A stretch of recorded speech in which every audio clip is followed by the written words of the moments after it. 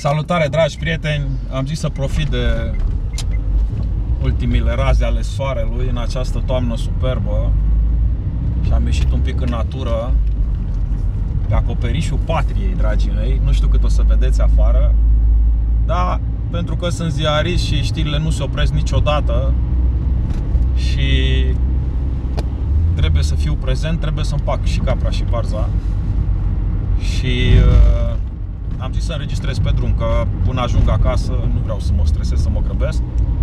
De pe drum, de unde m-am oprit la masă, de unde am mai, m-am mai oprit să mai admir peisajul, am stat cu un ochi la natura asta superbă și cu un ochi la telefon, la știri.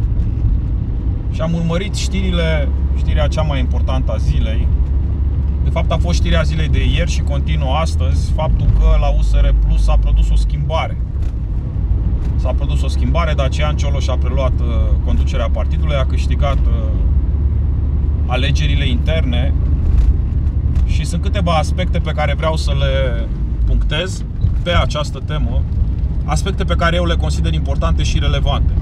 În același timp, astăzi a avut loc la Romexpo congresul USR, congres la care s-a ales conducerea din jurul președintelui, congres care a fost organizat total diferit de Congresul Partidului Național Liberal, a fost un număr mult mai mic de participanți, au intrat pe rând, au fost programați pe oră, s-a păstrat distanțarea socială, regulile de prevenire a răspândirii virusului.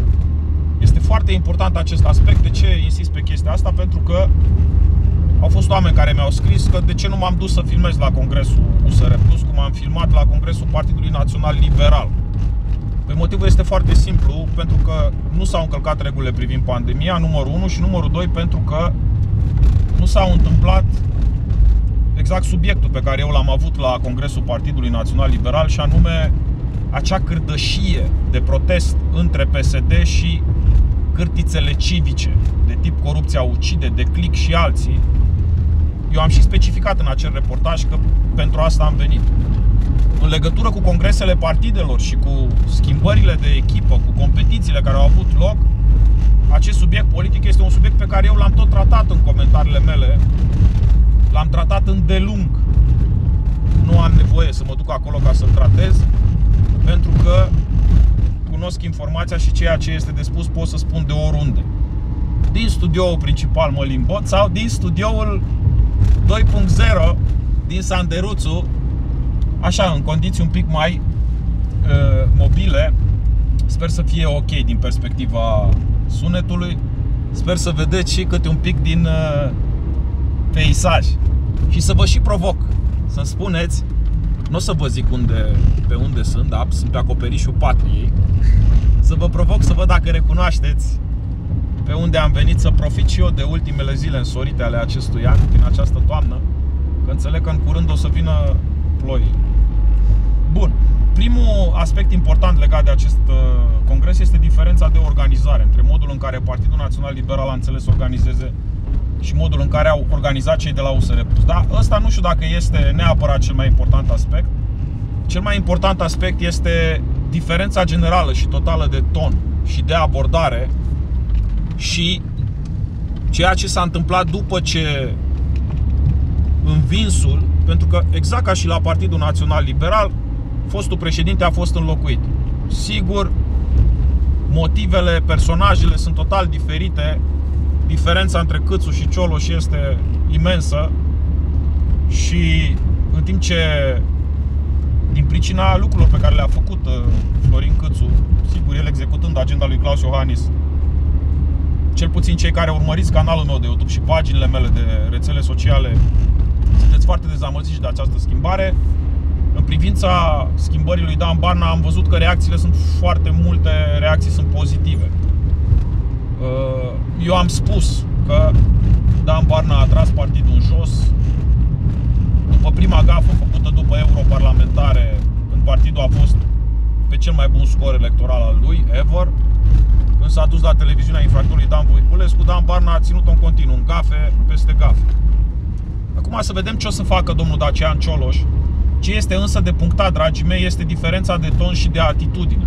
Pentru că la ambele partide a fost o bătălie electorală, dar uh, în timp ce la PNL a rezultat într-un război civil foarte dur, foarte urât între cele două tabere și cu o scindare probabilă, în cazul USR Plus lucrurile s-au desfășurat cu totul altfel. Pentru că sunt oameni cu mentalități total diferite. Da? Și dincolo de doctrine politice, dragii mei, dincolo de ce prevede platforma, programa fiecărui partid, dincolo de stânga și de dreapta, problema României ține tocmai de faptul că în politică sunt oameni cu mentalități greșite, urâte, mentalități pe stil vechi. Și problema noastră principală este calitatea oamenilor pe care îi alegem. Nu neapărat doctrina de stânga, de dreapta, de centru, liberală, conservatoare, progresistă a partidelor din care ei fac parte. Deci noi trebuie să ne concentrăm mai mult pe, părerea mea, calitatea umană. Și în 2024 va trebui să fim foarte atenți la acest aspect.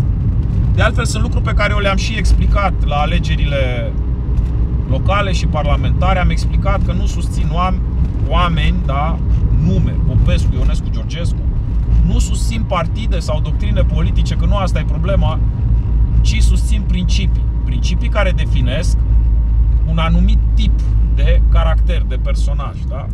Avem nevoie de oameni de caracter în politică. Acum știți că eu l-am criticat pe Dan Barna, dar totuși modul în care s-au derulat alegerile și reacția lui Dan Barna după ce a aflat că a fost învins arată că avem de-a face cu oameni care au un cu totul alt caracter. Da? Uh, este foarte importantă această declarație și această atitudine pe care a expus-o Dan Barna. Au spus că, de îndată ce s-a aflat rezultatul alegerilor, Dan Barna a spus, da, este ok, Dacian Cioloș este președinte, vom lucra împreună mai departe, în echipă, vom face echipă mai departe în interesul partidului nostru. Este foarte important acest aspect, oameni. Foarte important. Deci n-ați văzut bălăcăreala, circul, scandalul de la Partidul Național Liberal. Că puteau și ei să-și facă alegerile într-o altă manieră. Ține de caracterul oamenilor și ăsta este un aspect foarte important, dragii mei. Este un aspect foarte important. Nu ne imaginăm cât de important este. Pentru că în orice instituție, dincolo de legi, dincolo de regulamente, dincolo de condiții, e vorba de caracterul oamenilor care gestionează problemele cu care se confruntă societatea. Nu știu dacă ați ghicit până acum pe ce traseu suntem. Este absolut superbă vremea. Nu credeam că mai apuc să prind o astfel de zi. Acum, sigur, bate soarele direct în față prin parbriz.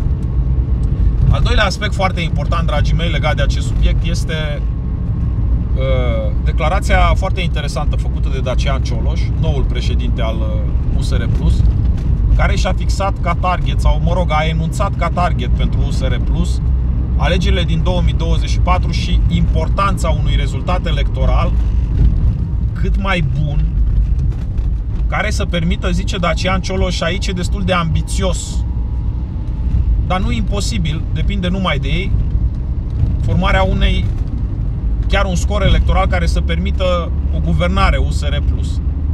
Deci avem, iată, avem uh, o perspectivă pentru anul 2024. Pentru că în situația în care Dan Barna era ales în continuare, ne cam lipsea această perspectivă. Absolut superb, munții. Avem o țară, dragii mei. Am făcut aici un comentariu în 2017. Am venit într-o zi de unul singur aici. A fost o zi foarte urâtă pentru mine din motive personale și am venit de unul singur aici. Am făcut un comentariu foarte interesant despre cât de frumoasă e România și despre cum nu ar trebui noi, n-ar trebui nimeni să fie sărac într-o țară atât de frumoasă și de bogată. O să-l caut când ajung acasă și am să-l am să pun link-ul în, în acest material. Este una dintre cele mai frumoase zone. Uh, unul dintre locurile în care vin cu foarte multă plăcere. Dacă aș câștiga la loto și ar fi posibil, dar nu e posibil, că aici nu cred că e posibil să deții terenul, să construiești ceva, da? Să câștig la loto să cumpăr o cabană aici în zonă, vă jur că aici m-aș pensiona. Deci aș putea, bă, că e o cabană acolo în vârful muntelui, da, o văd, o văd, o văd. Nu știu știu a cui e cabana respectivă, dacă ar fi de vânzare și aș fi milionar, dacă aș fi Soros, da?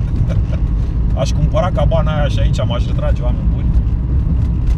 Este incredibil peisajul. Uh, absolut super. Bun, revenind la subiectul nostru de politică. E foarte interesantă declarația lui Dacian Cioloș care și-a propus să câștige anul 2024 și să ofere, foarte important acest aspect, să ofere un candidat cu șanse reale la alegerile prezidențiale. De ce? Pentru că cel puțin Partidul Național Liberal, așa cum arată acum, nu prea are un candidat, nu prea are un prezidențiabil. Ok. Florin Câțu se dorește a fi. Bănuiesc că ăsta este planul lui Claus Iohannis. Opinia mea este că Florin Câțu nu, nu este prezidențiabil și nu va fi o variantă de vot acceptabilă la alegerile din 2024. Eu nu l-aș vota pe Florin Câțu. Sigur, până atunci se pot întâmpla multe. Partidul Național Liberal, cine știe, Florin Câțu poate să facă multe lucruri, poate să ne răzgândească. Deși nu văd cum ar fi posibil. Dar este îmbucurător faptul că USR Plus și-a propus acest target. Și sper să găsească și o soluție care să fie convingătoare și să reaprindă entuziasmul publicului, să reaprindă interesul public. Sigur, asta nu înseamnă că USR Plus rămâne singura opțiune de vot. Până în 2024 se pot întâmpla foarte multe lucruri. Există și partide noi, nou apărute pe scena politică. Diaspora Europeană a făcut un partid, au activități foarte multe, pot fi o opțiune bună de vot, sunt și alte partide mai mici. O să vedem până în 2024 cum se așează lucrurile. Dar astăzi această schimbare care vine la vârful USR Plus, preluarea partidului de către Dacian Cioloș, echipa care se alege la congresul de astăzi de la Romexpo și modul în care s-a pus problema în această competiție, chiar modul în care a reacționat Dan Barna, lăudabil după părerea mea, sunt semne foarte bune.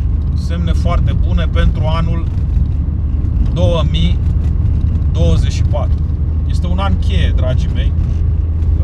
Eu am tot explicat acest lucru și este foarte important ca fiecare dintre cei care mă urmăriți să explicați mai departe acest lucru, să convingeți pe cât mai mulți dintre cunoscuți, pe cât mai mulți dintre prieteni să că vreau să trag aici pe dreapta, vreau să scot telefonul să mă și filmez un pic afară, dacă tot am venit până în acest peisaj super și căutam un loc potrivit.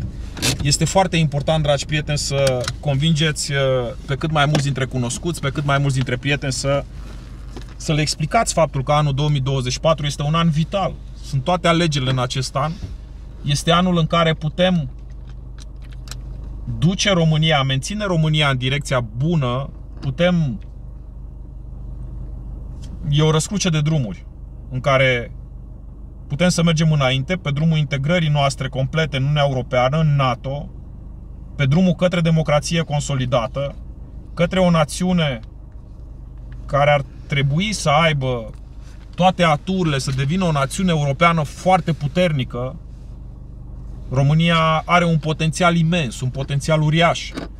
Problema țării noastre este că a fost stăpânită prea mult timp de când au venit comuniștii, când comuniștii au răsturnat scara de valori, de prea mult timp, dragii mei, de când au invadat tancurile lui Stalin din 1944, această țară este stăpânită de non-valori dincolo de doctrine, de ce vreți dumneavoastră. Problema e că această țară este stăpânită de non-valori, da? De analfabezi, de inculți, de proști, de lichiele. Asta este problema.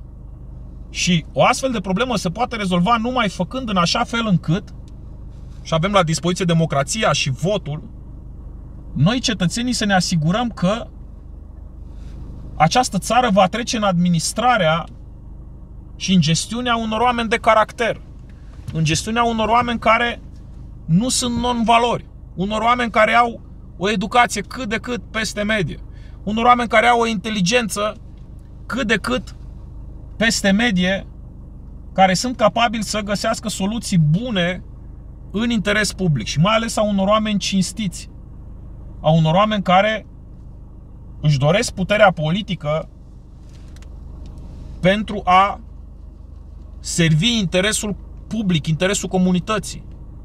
Nu a unor hoți, nu a unor indivizi așa cum am avut atât de mulți ani, toată această mafie, în special în epoca Dragnea, oameni care au dosare penale și care vor să legifereze, să profite de statutul lor în Parlament ca să emită legi să scape de pușcărie. N-ai cum o țară să să faci o țară să meargă într-o direcție bună cu astfel de personaje, oameni buni. Și aceste lucruri, după părerea mea, ar trebui explicate și eu încerc să le explic și o să încerc până în 2024. Aceasta va fi axa centrală a activității mele jurnalistice. Să încerc să explic aceste lucruri și să ne mobilizăm la vot. Dacă nu ne vom mobiliza la vot în 2024, va fi foarte rău. Ca să ne mobilizăm la vot, avem nevoie să existe oferte. Oferte care să fie promițătoare, convingătoare, care să stârnească un entuziasm pe care noi l-am văzut, de exemplu, la alegerile europarlamentare. Eu cred că rezultatul alegerilor de la USR Plus reprezintă un pas important în această direcție. O să vedem ce se va întâmpla, o să vedem ce va face domnul Dacian Cioloș, noul lider al USR Plus, ce va face echipa pe care o va avea la dispoziție. Uh, o să vedem dacă domnul Dacian Cioloș, eu cred că asta ar trebui să facă. Sigur, dânsul e foarte implicat în, la nivel european, în Parlamentul European, în construcțiile politice, în Renew Europe și în construcțiile mari care se fac la nivel european. Probabil că va trebui să pună în planul secund aceste activități politice și să insiste foarte mult pe Uh, refacerea, restructurarea, uh, transformarea partidului într-o ofertă promițătoare pentru alegerile din 2024. Sper ca domnul, domnul uh, Ciolo să nu facă greșeala de, după ce a câștigat conducerea partidului, de a rămâne la Bruxelles, la distanță de țară și de a delega toate responsabilitățile celor din subordine și de a deveni un președinte neimplicat, un președinte de partid absent, un personaj politic absent pe scena politică internă. Este foarte mare nevoie ca domnul Dacian Ciolo să devină, să fie foarte prezent. O să vedem, o să vedem toate aceste lucruri. Este un pas important după părerea mea și cred, cred că este o schimbare în bine. Și acum, dragii mei, haideți să vă arăt niște imagini absolut superbe. Hai să-l punem pe pauză pauză. Ei, dragi prieteni, acum clar ați ghicit unde suntem. Hmm?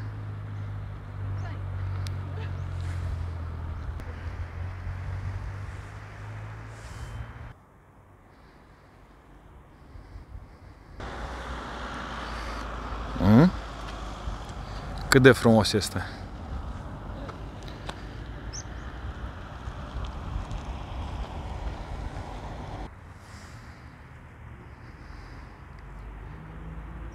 Toamna are niște culori absolut superbe la munte, mai ales atunci când soarele se apropie de apus.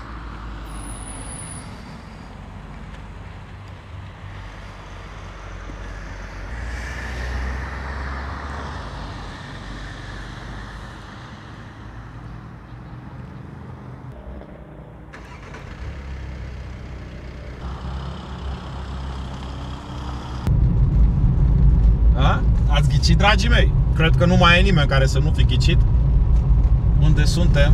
Avem o țară absolut superbă. Sigur, asta este un loc. Sunt mii de locuri în această țară, dragii mei. Avem o țară extraordinară, bogată, din toate punctele de vedere, dragii mei.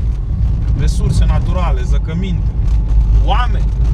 Din păcate, oamenii buni nu ajung la decizii. Oamenii buni, mulți dintre ei au plecat din țară. 6 milioane de oameni. Peste tot pe unde am fost în diaspora, românii cu care am stat de vorbă sunt realizați, sunt realizați așa cum nu ar fi fost niciodată realizați în România. Deci problema nu e cu omul cinstit, cu omul onest, cu cetățeanul de rând. Nu, nici vorbă. Problema e cu cei care ne conduc, oameni Și de aia România este în situația în care este.